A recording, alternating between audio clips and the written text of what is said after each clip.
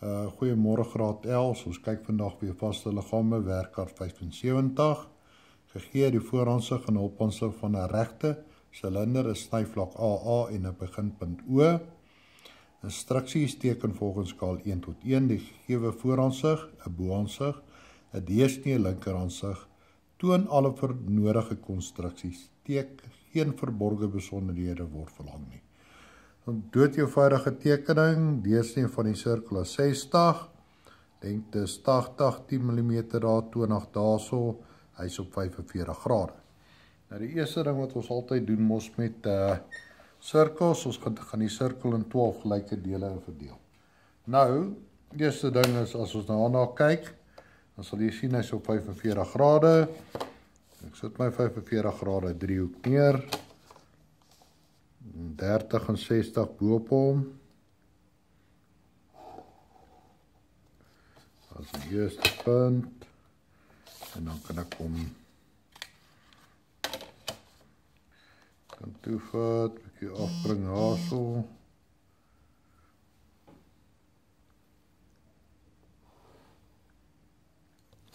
Nou, nou het ek my 60s. Nou kan ek my 30 haar insit.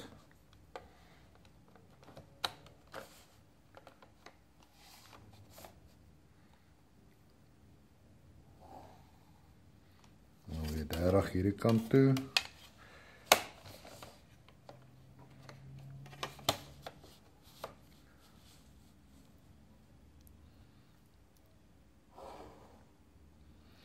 En daar is hy klaar verdeel.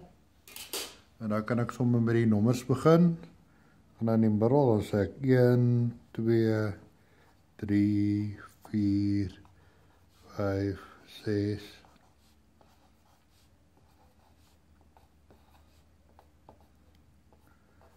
En dan kan ek daai punte wat ek al gekry het, bring ek terug na my silinder hier op die voorhandsig. kan ek die basis afsny of daar teenoor dan kan ek hierdie kant toe oorbring. En daar. En dan kan ek hom begin nommer. En weer een is 1 en 7 en daar's 2 en 6 daar's een eerste 3 en 5 4 daai een is 12 en 8 Daai ene is 3 en 9. En op daai ene is 10. Nou eerste ding wat ek vir julle mos gewys het al. Ek gaan nou daai afprojekteer onder toe, maar eers ek kom ons kry net vir my 'n grondlyn. My maatelyn. En dit vat ek 10 mm weg daar.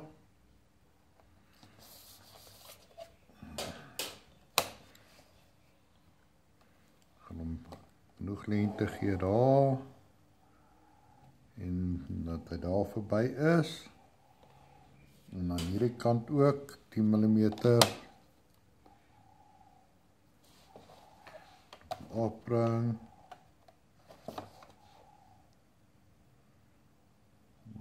seker die twee sny mekaar en dan kan ek gaan en ek kan nie 45 grade driehoek insit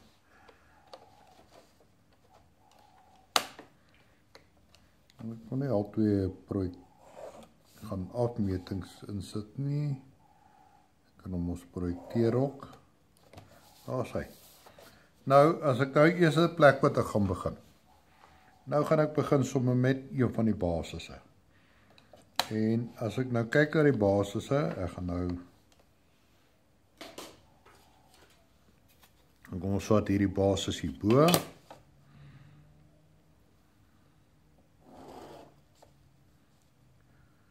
dan daai 3 en 5 2 en 6 1 en 7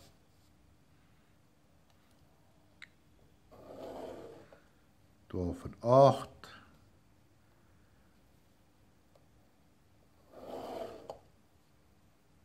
3 en 9 en dan daai punt 10 En nou kan ek hom ons begin. En as ek nou net die eerste punt gaan, ek gaan daarso punt 1. En dan volgende kaai 1.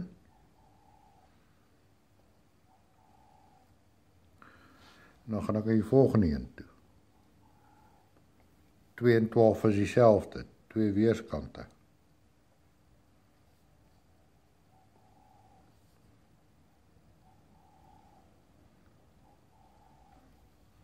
Dan gaan ek na 3 en 11 toe.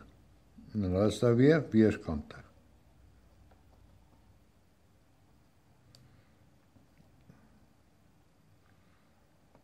So ek vat nie sommer enige punt nie. Ek gaan van die buite van die binnekant af in hierdie geval na die buitekant toe.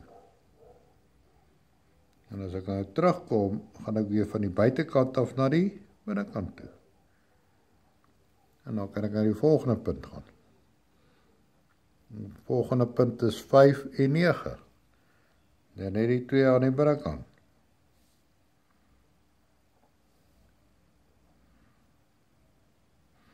Gaan ek mas nou net weer teenoorgestel. Dan kan ek gaan kyk daarso is 6. Dan gaan ek weer die twee brak toe.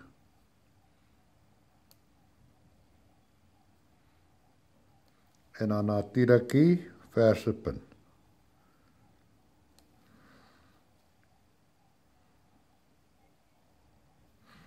En dan kan ek hom gaan intrek want as ek van bo af kyk sien ek hom direk.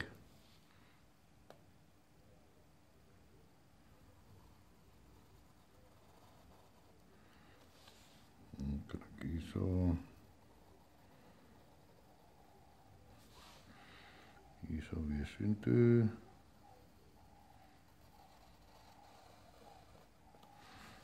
Kan ek hom weer daar Reg. Nou daar daar's die een basis.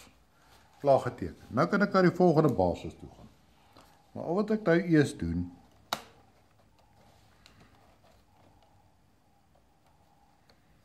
En nou trek ek sommer daai lyntjie tot by die 45. 'n Lyntjie tot by die 45.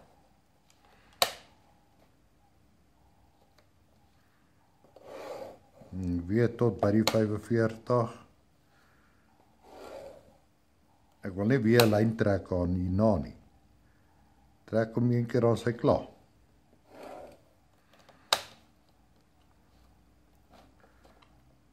En jy sal sien hoe eenvoudig werk dit nou. En nou as ek nou daai punte afbring,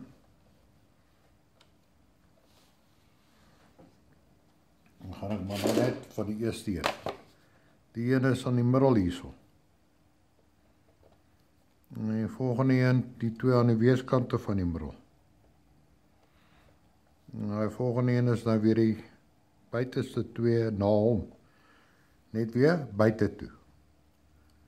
En daar gee nou vir my my twee buitestes. Dan kom ek nou weer binne toe. Weer amper so trappies klim. Daai lyn na daai lyn. Gaan nou weer en dan nie. En ek gee daar. Nou as ek so gaan kyk. Hierdie is verborge. Hy wil nie verborge hê nie, maar ek teken dit in dat ek kan sien ek het dit gedoen.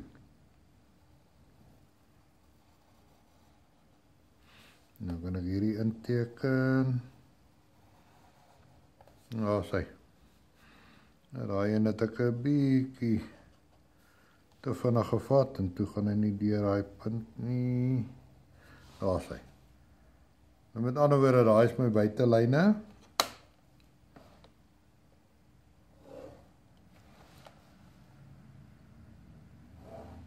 En daar's my drommie silindertjie.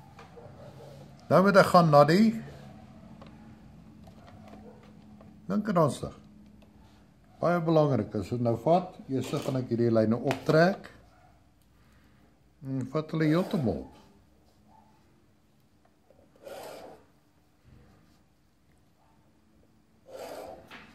En hom ons klaar gekry.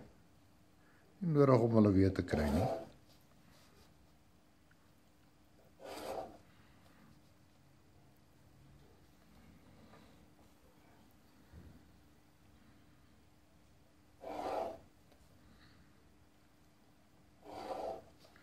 En nou kan ek hulle net oorbring. Nou vat ek die onderste punt is in die middelmos.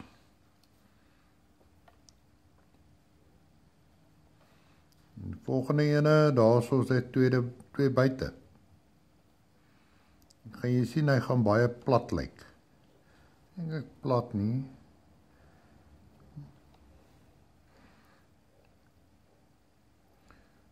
Nou, nou, daar is daai ene en dan die twee aan die buitekant. Daar's my eerste gedeelte. En as ek van daai kant af kyk, gaan ek hom net sommer hierso teken.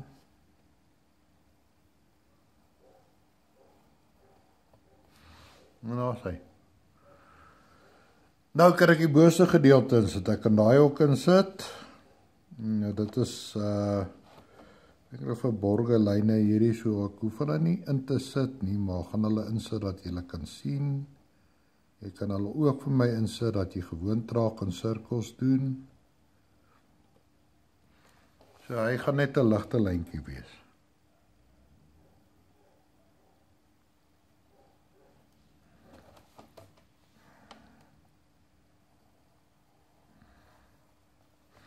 Laat ek net te donker getrek. Is hy moet baie lig wees. Ek het nou net te donker getrek. Dan kan ek begin met die volgende een. Weer in die middel. Weer weerskante van die middel. Presies dieselfde as die vorige een.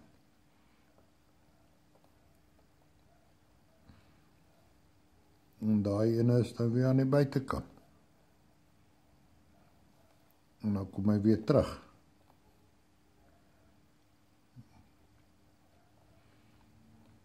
Nou weer en nou gaan ek uit weer na die middelpunt toe. En daar is my punte. Hulle gaan ek net eers liggies intrek.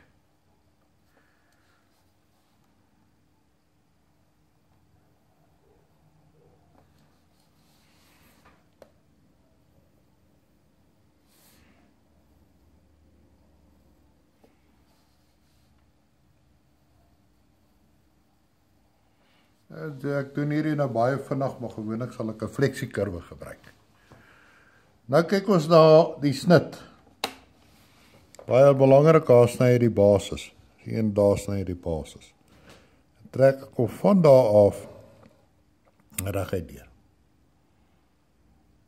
En nou gaan ek aan die volgende twee lyne toe. Daar sny hy op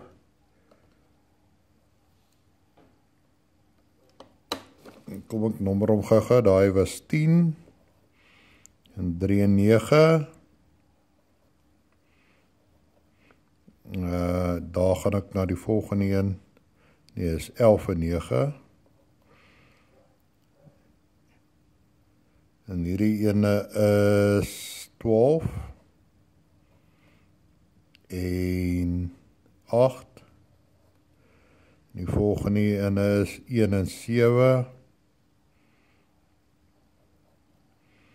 En daar's 2 en 6 3 5 en daar's 4. Nou daai een sny op die lyn wat van 12 en 8 afkom. Nou sê aanhoore daar en daar, nie op die punt daar nie. Volgende een sny op die lyn wat van 1 en 7 afkom. 7 1 Die volgende een sny op die lyn wat vanaf 2 en 6 kom. 2 en 6.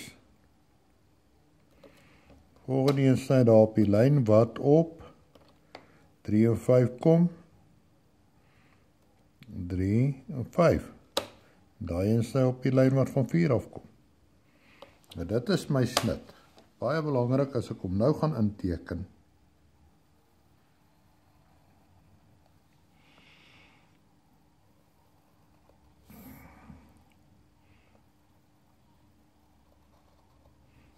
Sy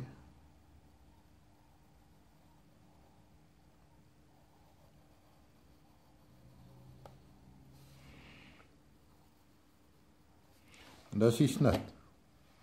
En daai was die basis, maar dit is my snit daai.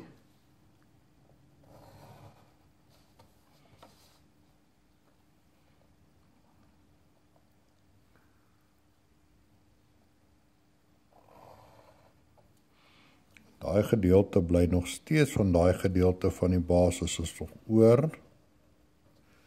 Sien nou gebruik ek die vryhand metode. Hier's nie hierso 'n lyntjie nie. Kan kyk daai lyntjies is weg. Maar gaan nou nie daar om nou uit. Weer nie. Nou wat moet ek nou nog doen? Nou moet ek die asering insit. En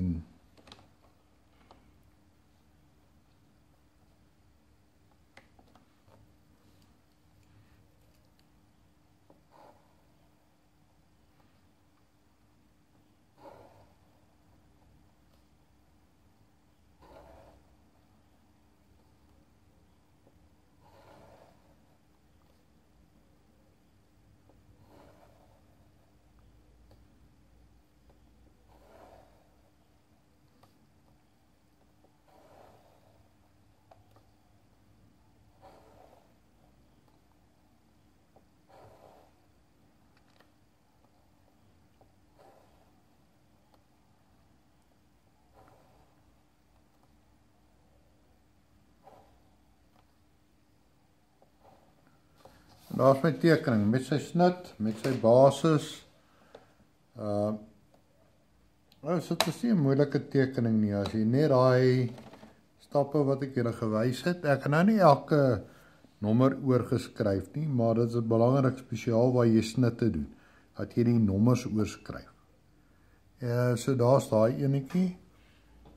Uh regtig nie 'n moeilike tekening nie. Hy's makliker as die vorige ene. Dis net onthou as dit silinder is en daar's daai tekeningkie. Hy het gevra vir die vooraansig, 'n boaansig, 'n deursnee en 'n linkeransig. Dag julle ouens, lekker teken. Ons uh praat weer. Totsies julle.